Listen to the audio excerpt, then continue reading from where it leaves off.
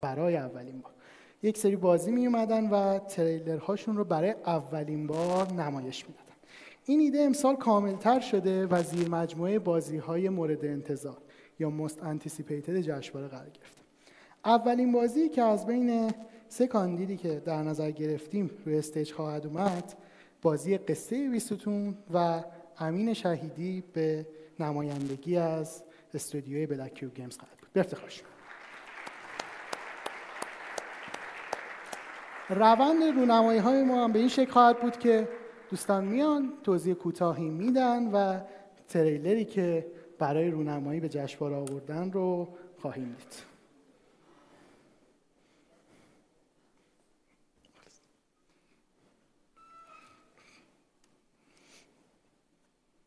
سلام. امین شهیدی هستم از تیم بلک کیوب گیمز می‌خواستم یه پرانتز باز بکنم. امشب ما تو یک جشن خانوادگی هستیم. که متاسفانه 5 تا 10 درصد این خانواده دعوت شدن به این برنامه.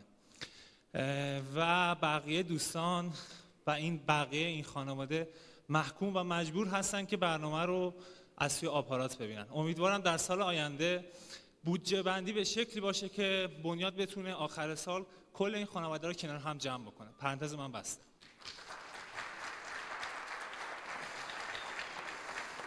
مرسی. خدمتتون از کنم در مورد بازی قصه بیسون قصه بیسون قصه یه تیمیه که نخواست سفارشی بسازه. قصه تیمیه که نخواست مارکت خوشحال کنه. قصه تیمیه که پول رو به مسیری که عاشقشه ترجیح نداد. می‌تونم بگم که این یک مسیر عاشقانه بود که ما با بازی اون طی کردیم و این بازی در مورد عشق در مورد معرفته.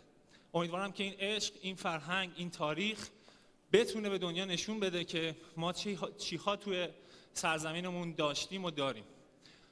توی ویدیویی که امشب با همدیگه می‌بینیم واسه اولین بار از پلتفرم پلتفرم هدف بازی قصه بیستون رونمایی میشه.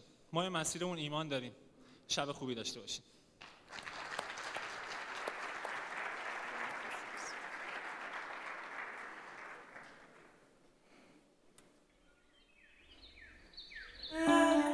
Roses come into singing, nightingales come into flower.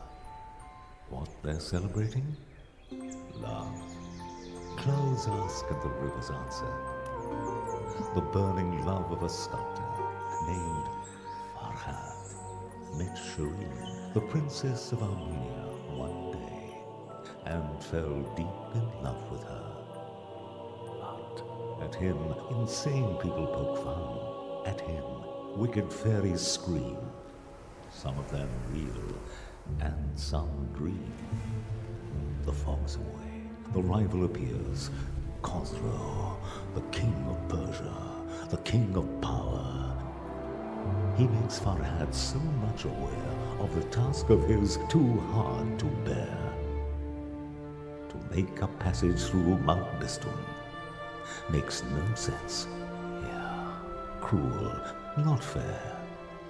But the man of passion then does prosper.